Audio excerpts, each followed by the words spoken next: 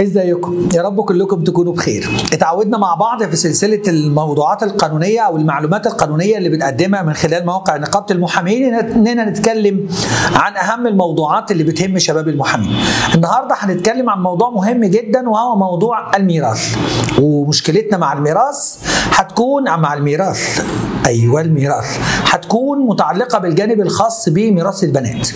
للأسف التقاليد والأعراف أحيانا بيكون لها دور كبير جدا في التدخل في تعطيل تطبيق أحكام القانون وكمان في تعطيل تطبيق أحكام الشريعة الإسلامية. ولذلك تلاقي في الصعيد بيمنعوا ميراث البنات ويقول لك إزاي الطين الطين يطلع بره العيلة وحد راجل غريب يجي وياخد أرضنا وياخد طيننا وياخد عرضنا؟ لا. فبيدوا البنت قرشين أقل بكتير جدا من حقها الشرعي ويطلعوها بره التركة. الموضوع ده بيؤرق كتير من الستات في مصر لا سيما ستات إخواتنا البنات اللي موجودين في الصعيد. ولذلك لما بنيجي بنتكلم عن الموضوع ده بنقول للبنات بنقول لهم إن حقك عشان تاخديه بنعمل إعلام وراثة ثم بعد كده بنرفع دعوى تقسيم تركة وبنقدم في دعوى تقسيم التركة كل المستندات الدالة على وجود هذه التركة لكي يتم تقسيم التركة وفقا لأحكام الشريعة الإسلامية في المواريث.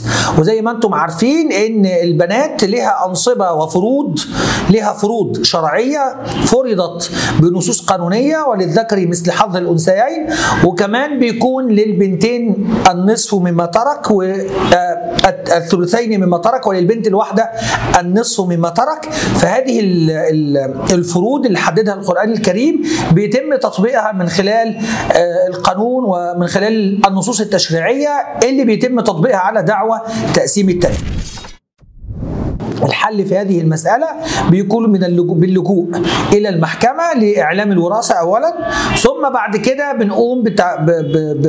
برفع دعوة اسمها دعوة تقسيم تركة واللي فيها بتلتزم هذه السيدة بأنها تقدم كل المستندات الدالة على أن هناك أنصبة شرعية وأن هناك تركة شرعية موجودة هذه التركة إذا ما قسمت سيترتب على ذلك أنها تاخد نصيبها الشرعي اللي فرضه القانون واللي قبل كده فرضه الشرع والشريعة الإسلامية. أحمد مهران.